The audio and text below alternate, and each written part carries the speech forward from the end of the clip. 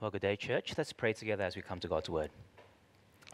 Our gracious and heavenly Father, we thank you once again for the great joy and privilege it is to gather this morning in this way across three campuses, um, to gather to have our hearts moved and changed and transformed by your word and spirit. And so, Lord, today we ask and we long and we desire that you would do a work in our hearts, a work of transformation that only you can do. In your name we pray. Amen. Well, welcome to our anniversary celebration for 2023. Uh, anniversaries are often occasions to pause, reflect, and to give thanks, aren't they? Uh, think of a wedding anniversary. Uh, my sister in law and her husband had a wedding anniversary dinner last night. You usually take um, your spouse out for dinner somewhere nice. Uh, you don't go to Macca's, or at least you don't usually go to Macca's. And then you, you gather and then you talk about your marriage, you appreciate one another, and you celebrate, right? But when you think about it, anniversaries aren't just about looking back, uh, anniversaries are also about looking forward. You don't usually end your wedding anniversary dinner by saying, okay, honey, we've had a good run, I'll see you later. Uh, no, if you do, you probably won't have too many anniversary dinners left. Uh, but what you also usually do is you sit and you talk about how to keep growing in your marriage, right? Uh, you ask questions like, what have we done right that we can keep doing? What mistakes have we made that we need to improve on or maybe to even avoid? Uh, how can we keep loving and serving one another uh, just as we committed when we said our vows? How can we keep committing our marriage to the Lord? That's the kind of conversations you ought to be having. Anniversaries are occasions to look back, but also to look forward. And I'd like us to do that today at our church anniversary service. Uh, you see, Grace Point Presbyterian Church was started in 1998 uh, when Pastor Dennis Law and a group of five elders gathered to plant a Presbyterian church that had an eye to the growing multi ethnic community of Sydney. And I like to say and just pause for a minute and just appreciate how long ago 1998 was. Okay, this makes Grace Point as a whole. Now, we were planted a year later, but Grace Point as a whole, that makes us 25 years old. Some of you weren't even born in 1998. That's kind of shocking, right? But we're going to do an activity. Are you ready? Who in this room was born 1998 and after? Raise your hands. 1998 and after, raise your hands. Now, everyone look around and feel a deep sense of age welling inside of you, right? Now, put your hands down. Mark, you're not lying to anyone. Don't worry. We. Now, right now, who in this room officially feels old? Raise up your hands. There we go. Now, let me tell you something, right? In 1998, our very own Pastor Eugene was 27 years old.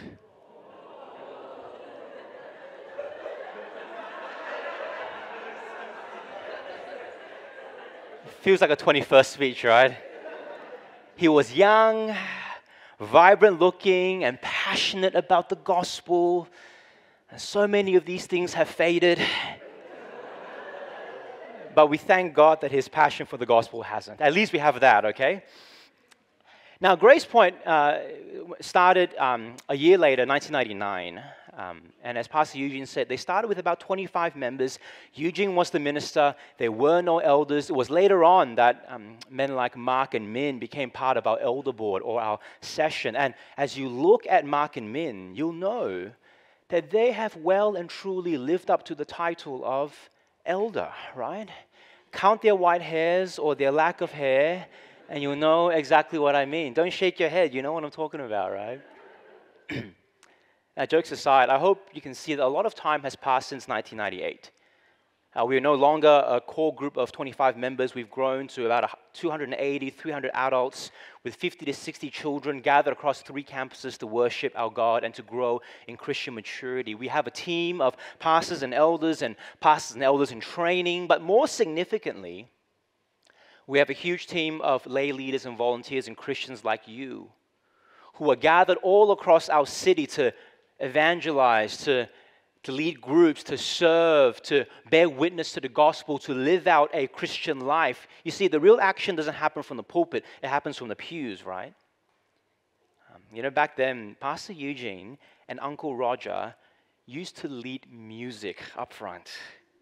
Can you believe that? Thank God that their services are no longer needed, right? I'm so glad you did not quit your day job, right? Lots have changed since 1998, but of course, we recognize that things have, haven't always been an uphill climb, right? We've had challenges and we've had heartbreaks.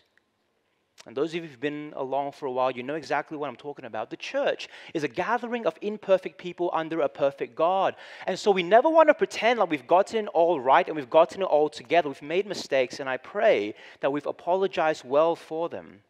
And I also pray that we will be humble enough to make corrections as we go. But listen very closely. In the midst of all of this, I think one of the words that we could use to describe life at Grace Point since 1998 is that we've had a series of spiritual revivals.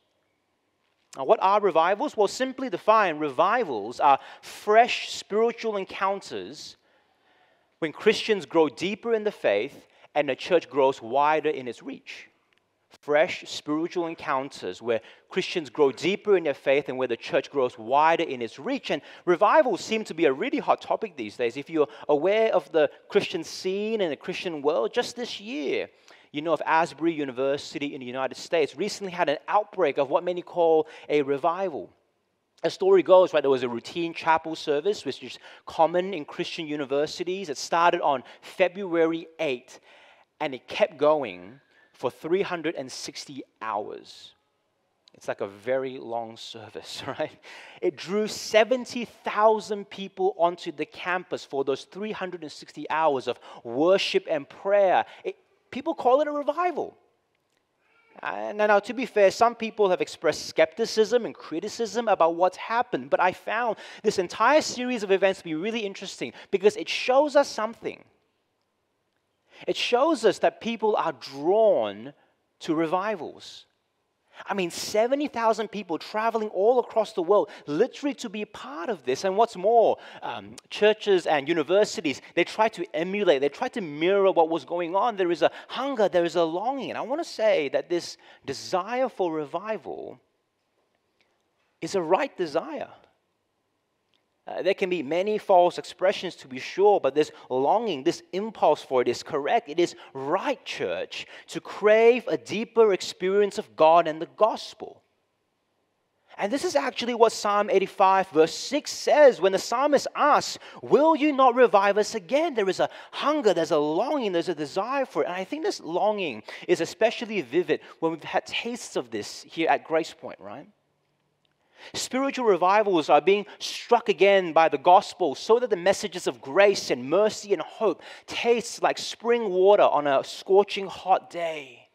Refreshing and renewing. We, we've seen this, haven't we, church? The fact that people have come to know Jesus here, the fact that people have matured in their faith, the fact that people are passionate in humble sacrifice unto Christ, the fact that people give generously, the fact that people are courageous in bearing witness to the gospel. And so, church, my prayer during our anniversary service today is that we will look back and say, God, that was great. But also to look forward and to say, in the words of the psalmist, God, revive us again. Because you see, revival is not just important for the church, it's also important for you and I. It is significant both corporately and personally. If you look at verse 6, do you notice what revival is tied to? Verse 6 says, Will you not revive us again that your people may rejoice in you? In other words, revival is tied to joy, happiness, satisfaction, and fulfillment. Verse 7 shows us how this revival comes about. It says, Show us your unfailing love, Lord, and grant us your salvation. Revival comes when God lavishes his love and salvation upon us through Jesus Christ. So, as we work our way through Psalm 85, my hope and prayer is that we ought to, as a church, long for revivals because revivals give us the joy we desire. We ought to long for revivals because revivals give us the joy we desire. But you see, it's not that simple. There are obstacles, there are barriers to this, right? Come to point one with me because as we see, uh, Psalm 85 portrays three enemies of revivals. Three enemies. Read verses 1 to 3 with me. You, Lord, showed favor to your land. You restored the fortunes of Jacob. You forgave the iniquity of your people and covered all their sins. You set aside all your wrath and turned from your fierce anger. Let's pause there. One of the interesting things I hope you notice is the relationship between favor, fortune, and forgiveness. You see it? Favor, fortune, and forgiveness. Now remember, the context of this entire psalm is verse 6 to 7, revival. And so in verses 1 to 3, the psalmist is looking back at when this has taken place in the life of God's people. It's like an anniversary, Psalm 85, right?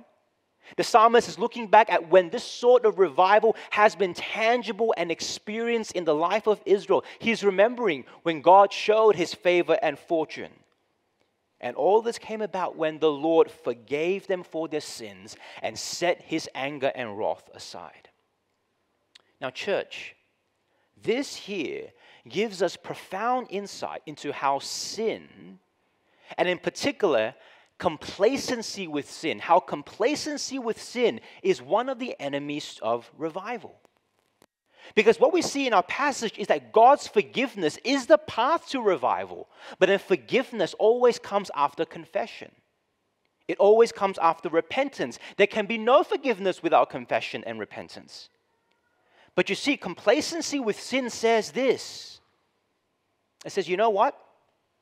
This sin isn't that bad. In fact, I think this sin is actually okay. I know what God says about my sin, but the truth is, if you really know me, it's actually not that destructive. It's kind of okay. And so rather than confessing and repenting, complacency settles and lives with that sin and allows that sin to take root in our lives. And I just want us to realize that at best, complacency is connected to spiritual idleness and apathy. At best, it's all about spiritual idleness and apathy. And so we need an awakening, a revival. But you see, at worst, complacency is connected to an unregenerate heart. It could indicate that you and I may not actually be saved. And it's, so, it's no surprise that there are times when revivals are impossible because you cannot revive spiritual vitality when spiritual life is not even present.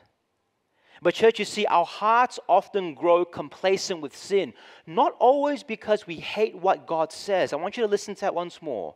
We grow complacent with sin, not always because we hate what God's word says. We become complacent with sin not just because we lack energy or motivation or discipline to put that particular sin to death. It's not always that way. More often than not, we grow complacent because in our heart of hearts, we actually believe that that particular sin is what gives us joy. It's interesting, isn't it? As you observe the history of Israel, what you'll find is that generation after generation falls into sin, not always because of conscious intention of rebelling against God Rather, they fall into sin and remain in sin because they believe that these sins would give them their heart's desires, joy. Whether it's Adam and Eve in the garden who ate from the tree of the knowledge of good and evil, Cain killing Abel out of jealousy, the people of Sodom and Gomorrah indulging in sexual immorality, the Israelites worshiping the golden calves, David committing adultery with Bathsheba, the Israelites engaging with idolatry, injustice, and oppression. As we examine scripture, Rarely do we find them committing these things chiefly because they hate God, though we know theologically that is the reason. But as we read of their explanations and their motivations, many of them do this because they believe that these sins are greater than God's promises. They believe that these would give them the joy that their hearts long for. Complacency with sin, but that's not the only enemy, is it? As we work our way through verses 4 to 5, I want you to notice how frequently the plural is used. You see it?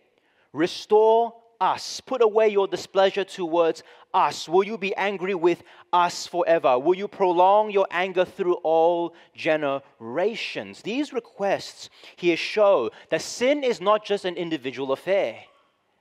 It is incredibly corporate and communal. Now, theologically, we recognize that all of us have sinned under Adam. And so it's no surprise that we speak of the corporate and the shared nature of sin. But I want you to notice it's not just an abstract idea, Listen closely. I'm sure we all know that sin is amplified in the presence of people. Let me ask you this question Have you ever noticed that every workplace has a culture? That every family has its own rituals and habits? That every friendship group has its own idiosyncrasies? Have you noticed that every church has its own idols? And then have you ever noticed that you as an individual is often impacted and influenced by all of these cultures, rituals, idiosyncrasies, and idols? Verses 4 to 5 shows us there is a danger in having our convictions shaped by consensus. There is a danger in having our convictions shaped by consensus. That's why the plural is so prominent. It recognizes that the masses, consensus, has profound influence on how we live. And so the psalmist calls for forgiveness, not just for himself, but also for his people and for subsequent generations in church. This is a cautionary tale for us. Because I hope we see that we are more impacted by our context and our circumstances than we realize, perhaps more than we dare to admit. Our surroundings actually shape our sins. Now, you see, this does not absolve us of individual responsibility, but it does show us that flowing with the current or riding popular consensus inevitably leads us to a place of divergence from God's will. But when you think about it, right, consensus makes sense. Consensus is easier. We often believe that there is a greater chance that we'll be right if we go with the consensus. We live in a democratic society, right? I hope you guys voted yesterday, right? And so if the majority is true and if they're right, then I'm probably right as well.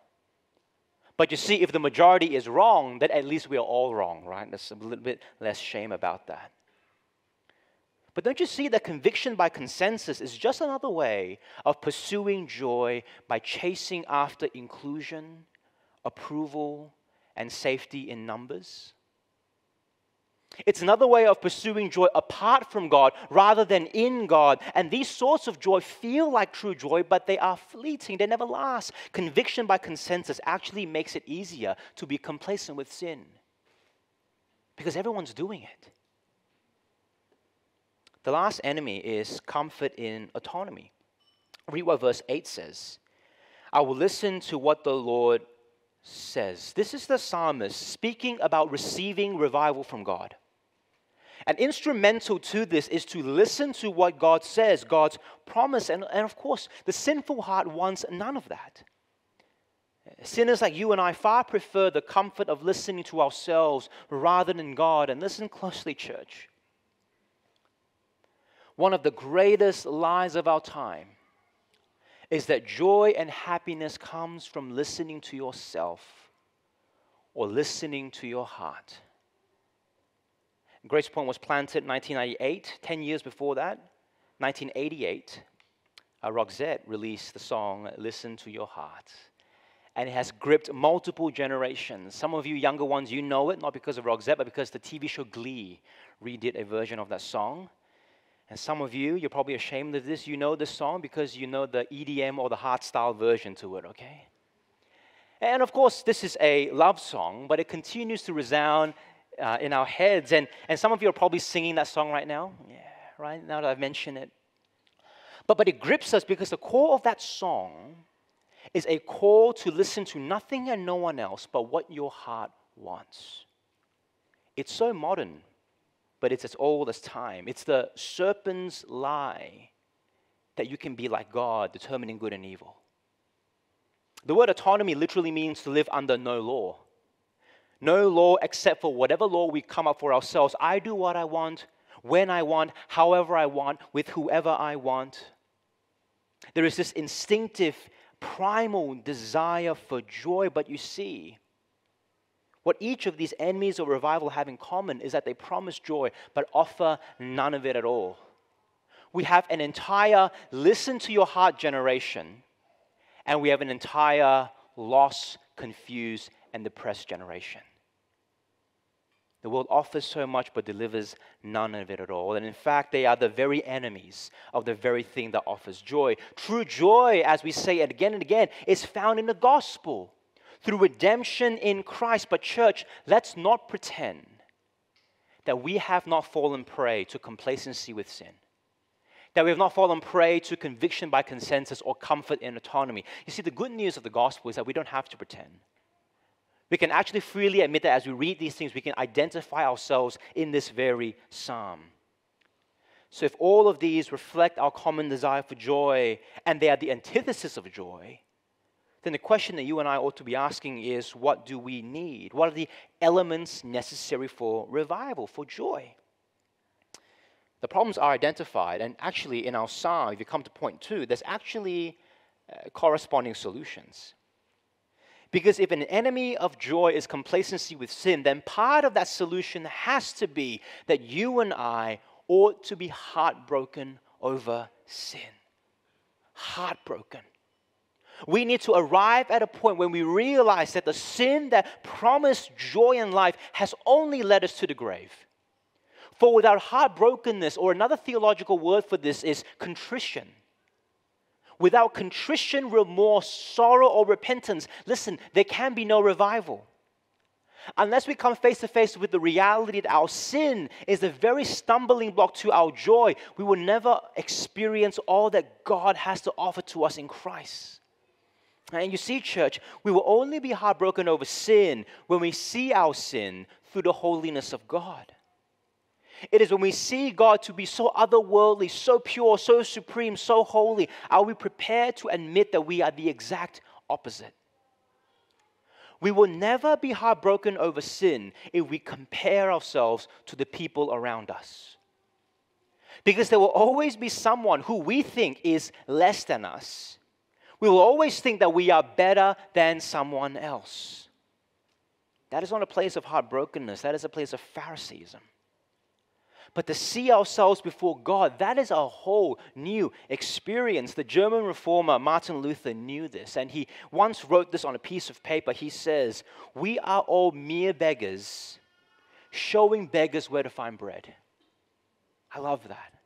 We are mere beggars, showing other beggars where to find bread. By that, he meant that we are all sinners in need of a Savior. Isn't that the whole theme of Psalm 85?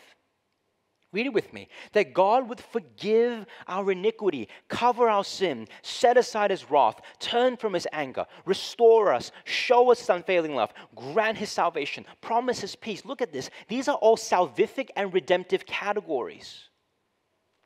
In other words, we don't become heartbroken over sin so that we may despair. We become heartbroken over sin so that we may be repaired not to despair, but to be repaired, so that God would renew us and make us whole again. But I want you to notice something, right? This here is not just a generic restoration. Read verse 10 to 11 with me. It says, uh, Love and faithfulness meet together, righteousness and peace kiss each other. Faithfulness springs forth from the earth, and righteousness looks down from heaven. Church, if you blink, you'll miss this, okay? But upon showing us the enemies of sin, the psalmist now shows us what we need. It is when, notice the imagery, when love and the faithfulness of God comes together, when the righteousness and the peace of God comes together. The language of kiss here is to indicate that these virtues are so intimate that they come together, you can't separate them. And, church, let me ask you a question redeeming love, faithfulness, righteousness, peace coming together. What are you thinking of? all of this here is actually a perfect promise of the incarnation, Christ.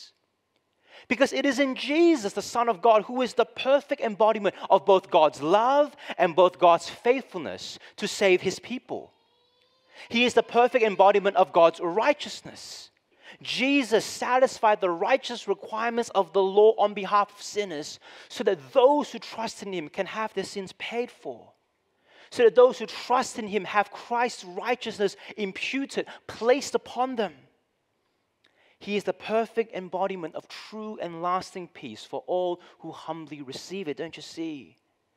This is a faithfulness that can be tangibly experienced here on earth. That's what the psalmist says. But the source actually comes from heaven. Church, I want you to see that God is not withholding his grace from us. He lavishes it freely on all who lean and trust in Him for forgiveness and life. And so, brothers and sisters, we become heartbroken over sin, not to heap more guilt on ourselves, but to receive more grace from God. As we confess to Him, recognizing that He knows better than we do, as we show our desperate need for Christ, our Savior, that His path is actually the path to life. The promise of salvation in Christ is actually what makes repentance possible, it's an essential element. Church, let me offer you a point to ponder. What sins have you grown too comfortable with? What sins have you grown too comfortable with? I'm so conscious that all of us wrestle with common sins, but also unique sins. There are some sins that we know break God's heart and break God's law, and we labor by God's Spirit to put them to death. There are some like that. But there are also some sins that grip our hearts that we just don't want to let go. And my dear brother and sister, do you see that this is actually hindering God's work of revival in your heart? The work of restoring deep and explosive joy in your life. You see, letting go of sin can be hard, of course. Because you see, the reason they've gripped our hearts is because there is an appeal to them, right? We are drawn to them because there's an appeal. But you see, the gospel, listen very closely, doesn't just call us to let go and that's it. It doesn't just say, let go and be empty. Rather, the gospel calls us to let go in order that we may lean on God. Let go in order that we may be filled. It's a let go of that empty ice cream cone in order that we may be filled with something infinitely even greater. It's not so that we may receive more guilt, but more grace as we experience that afresh once more. Another essential element of revival then is for humble prayer and confession. Humble prayer and confession. Do you see that this entire psalm is actually written in the form of a prayer and confession? It's not like Paul's letters, it's not like the gospel writings. It's a reflective prayer and confession of one who longs for. I want you to read the tone. He longs for revival from God. And, church, is no surprise that in the history of the Christian church and the history of Christian revivals, one of the major characteristics of all of these events is desperate and humble prayer and confession. Desperate and humble prayer and confession. It's very interesting, right? Uh, one of the names we often hear Pastor Eugene quote from the pulpit is a pastor by the name of Jonathan Edwards. It's either Edwards or it is C.S. Lewis, right? And for good reason.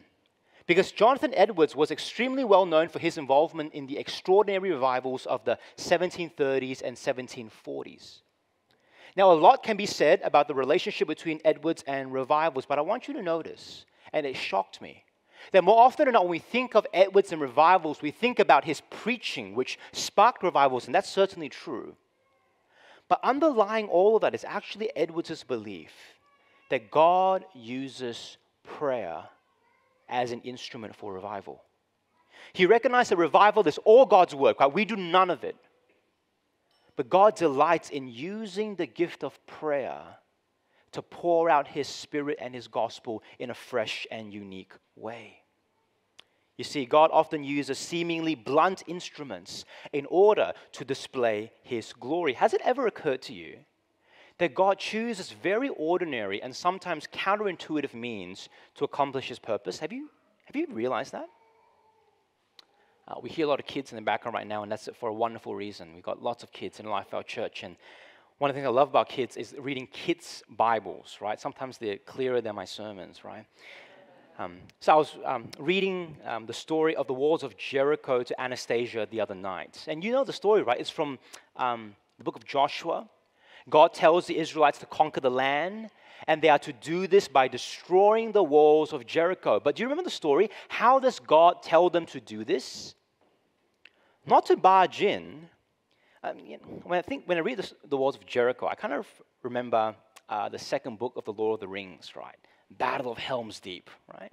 If you know the story, if you've seen the movie, right? How do you defeat Helm's Deep? Well, Grima Wormtongue says Helm's Deep has but one weakness its outer wall. There's a little drain there. That if you just break through that, you're on your way in. And as you watch the movie, you know that's exactly what they do, right? This orc like figure carries an explosive, charges through, blows up that drain, and the walls crumble, and the battle is almost won at that point. It makes sense. You're meant to attack your opponent at their point of weakness. But that's not how God told the Israelites to take down the walls of Jericho. Instead, God tells them to march around the city walls once a day for six days, seven times on the seventh day, and then blow their trumpets, and the walls will fall. Now, was their ban that bad that the walls fell? No, I don't think that's the point, right? And so you see, I'm, I'm reading this story to Anastasia, and I ask her, Now, dear, how is this possible? How is it possible that the Israelites defeat Jericho with just music?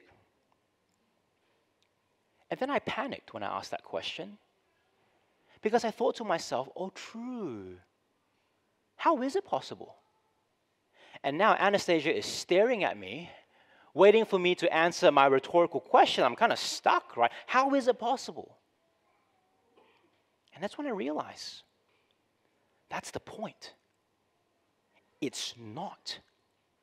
It's not possible. There is absolutely no reason for why it should have worked apart from God. All of this happened so that the Israelites would know that it was the Lord their God who delivered them into victory. They did not even lift a sword, that they would know that it was God's power and not theirs that brought them into the land, so that there is no illusion. It was not their military might, but God's power. But I want you to notice, right? That's in the Old Testament, but the pattern continues. Uh, you see, today, so many people say that preaching is one of the most ineffective ways to communicate the gospel. All across the world, people are saying, No one remembers what the preacher says. It's such a terrible way to teach. It has no power to change. If you want something that works, have a dialogue, watch a movie, play a skit, add some music, then maybe we're on to something. But is it interesting that the Bible insists that it's through the preaching of the word and the gospel that hearts are changed? Is it intriguing that Paul's final words to Timothy is to preach the word in season and out of season? Is it intriguing that God gave us the Holy Spirit to guide us as we expound the Holy Scriptures? Church, listen very closely. Perhaps the weakness of preaching is a feature and not a bug. Perhaps all of this is so that any sort of spiritual transformation can be attributed not to the preacher, but to the one he is preaching about. Perhaps it is God's purpose to use the very ordinary means of exposition to bring about the explosive power of the gospel. So that, like the walls of Jericho standing and crumbling, those who witness the preaching of the word, changing lives, will say, you know what? Only God could have done that. There is no way the preacher is that good. God uses seemingly blunt instruments to display his glory, and he uses prayer for revival.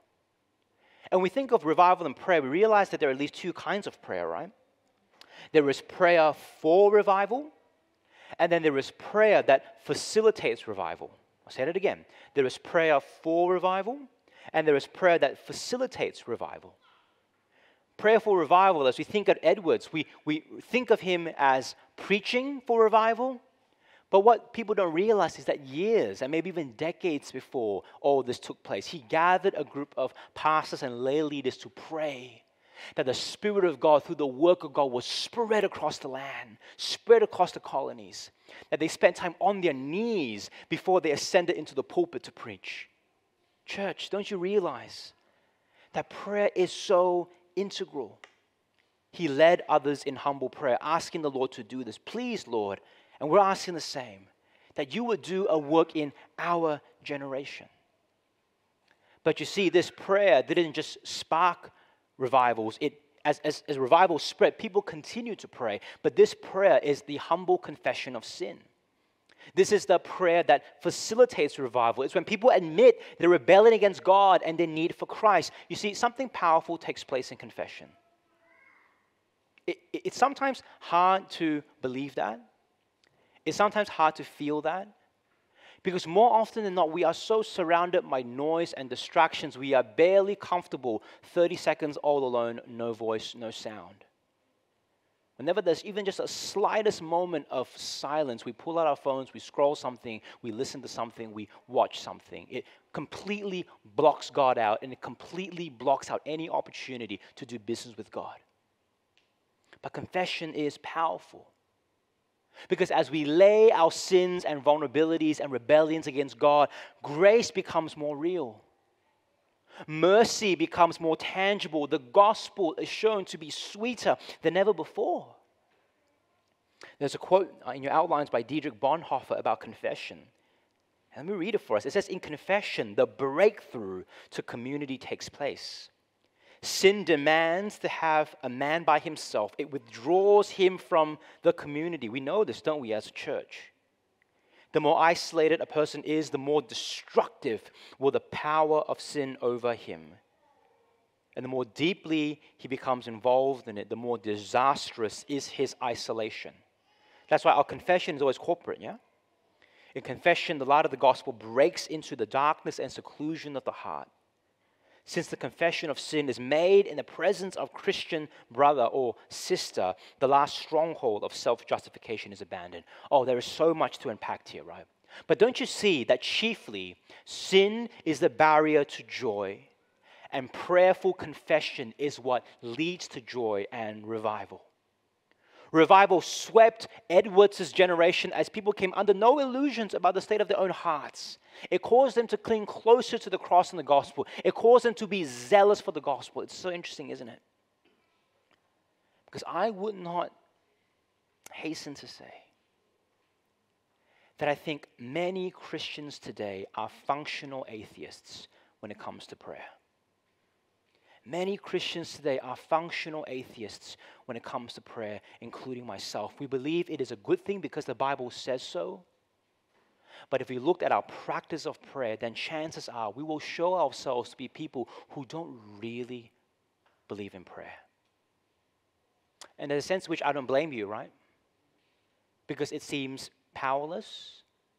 It seems so passive. Wouldn't we rather do something than just pray? It seems so weak. But perhaps, church, this is a feature and not a bug.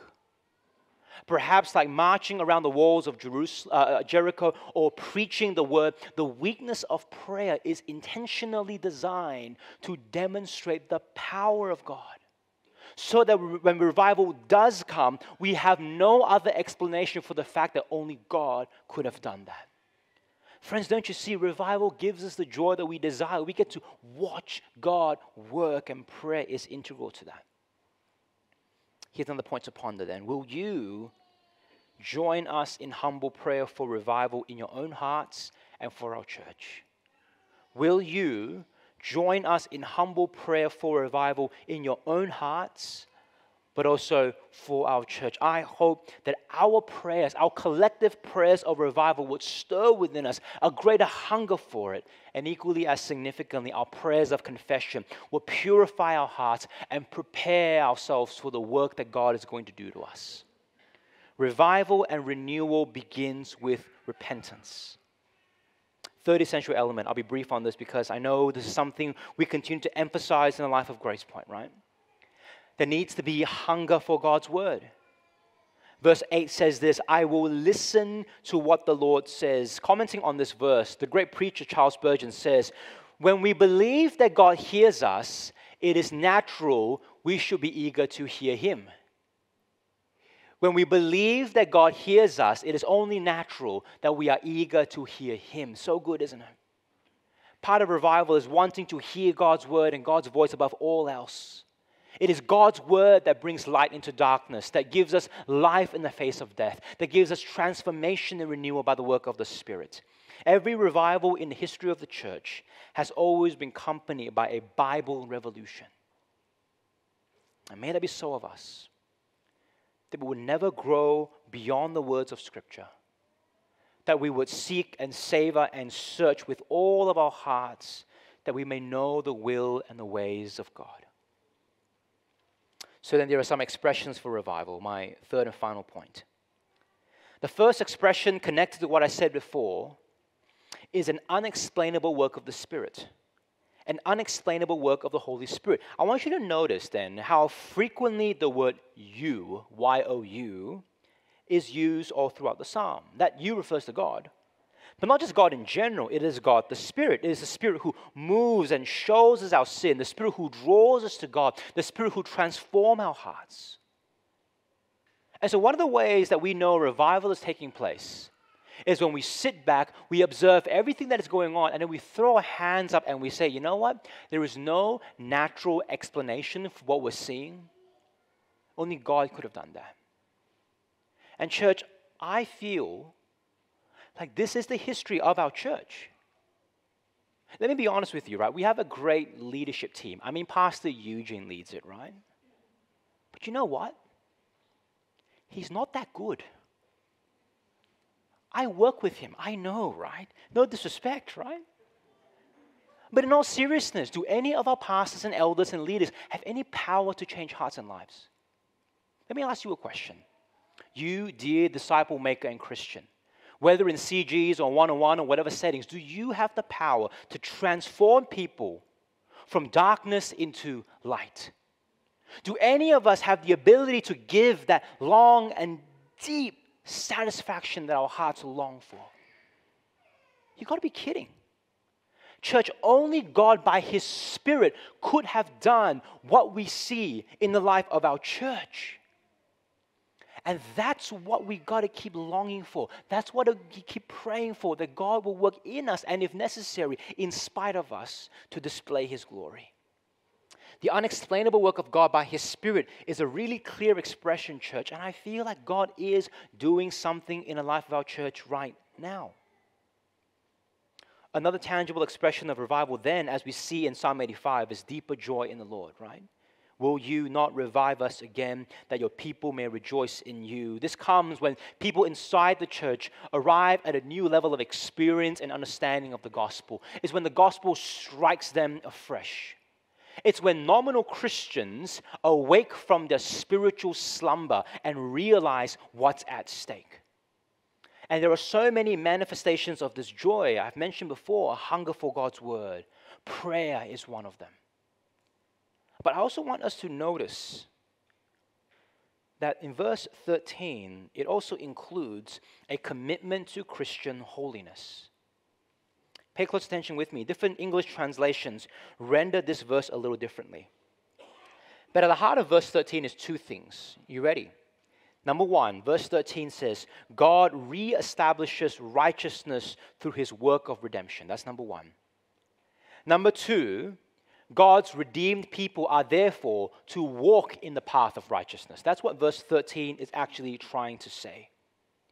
In other words, those who are heartbroken over sin and turn to Christ, then walk in the path of righteousness and holiness. And this is why some people always have skepticisms about different revivals, because they always say time will tell. Because one of the clear manifestations of revivals is when people hunger and long for holiness and godliness. After all, sanctification is God's will for us. That's where joy is found. One more point to ponder then. Would people around you characterize your life as one marked by a commitment to Christian holiness? Will people around you characterize your life as one marked by a commitment to Christian holiness? That's such a good question to wrestle with, right? Because sometimes we can have an overinflated sense of ourselves, like, I think I'm really holy, but if we were to take a step aside and imagine ourselves in someone else's shoes, that might illuminate our reflections a little bit more. Don't you see, church? Your hunger for joy is right here. All that sin promises, intimacy, love, satisfaction, fulfillment, and hope, is actually found in being reconciled to God, being redeemed by God, and found in running with God tangible expression is when people around can say, Wow, you look like a Christian. It may seem like such a small and low bar, but that's the reality. Another expression of revival, then, as a consequence of the church growing in deeper in joy, lastly, is that the gospel begins to have a wider reach in our city. That is really important. Because there's a sense in which that's only natural, right? Because Christians who truly grasp the depths of grace have an infectious faith. And this faith begins to be seen not just in what they love and what they know, but in how they live. They begin to show the truth, beauty, and goodness of the gospel. There begins to be a desire to bring others along to experience the new life that is found in Christ. And so, this genuine practice of faith and this generous offer of grace often produces a spiritual revival where conscious non Christians, like those who reject God, those whose hearts are hardened against God, even they are drawn into the life of the church. They are converted and they are moved. Church, that's when the church begins to grow. And I want to say, right, Christians moving from one church to another is not growth. That's an illusion of growth. We need to be careful. Genuine biblical growth is when people turn from darkness into light, from sin and death into life and light in Christ. Psalm 85, verse 9 says, Salvation is near those who fear him. There is no discrimination to whom this is offered to, is for those who love the Lord, who worship God as holy. Regardless of your age, background, or history, it's for anyone else in this world. Church, as I conclude, I pray that you are gripped and compelled by this vision that we see in Psalm 85, where fortune, favor, and forgiveness of God reigns over God's people, where we are rejoiced, renewed, and restored. It's what our hearts long for, it's what we need. Revival is totally God's work, but I hope and pray you see that God uses means the means of confession, the means of prayer, the means of holiness. You see, in the last 25 years, we've seen our church grow from 25 people to about 280 to 300 people, depending on who's there on those Sundays, right? That is roughly a 1,000% growth in 25 years. Not 100, right? I was like, oh, 20, oh, is that 100%? No, it's not. It's 1,000% growth. Now, to be fair, not all of that is evangelistic, yeah? Some of you have come from other churches, so let's just halve that to be generous. That is still incredible. This reminds me of the parable of the sower in Mark chapter 4, right? Good soil bearing fruit 30, 60, 100 fold. But that's all God, isn't it? Church, what would it look like for our church to experience a revival again where we see another thousand percent increase in the next 25 years? Now, don't tell me it's not possible. God's done it. What would that look like for us? As we as a church spend time on our knees in desperate, humble prayer, asking the Lord to revive us as we confess, as we lean, as we trust. Those of you who can do quick maths knows that that puts us into the range of about 3,000. But you see, it's very easy to become obsessed with numbers in the sense in which if there's any Sunday to do it, it's today because we have ACM, so numbers are important, right? But I hope and pray you see that behind each number is a person. And behind each person is a soul searching for joy and meaning. Behind each number is a sinner needing salvation by grace through faith. Now, church, God can do it. That's why the expression of Psalm 85, verse 4, restore us again. Verse 6, will you not revive us again? May that be our prayer, church, that the Lord would do this in our hearts and our church. Let's pray. Our Lord and God, we thank you for your word to us in Psalm 85 today. We ask, dear Lord, that your word would take root and stir within us a deeper longing for revival and for joy, for the glory of your name and for the good of your church. In Jesus' name we pray. Amen.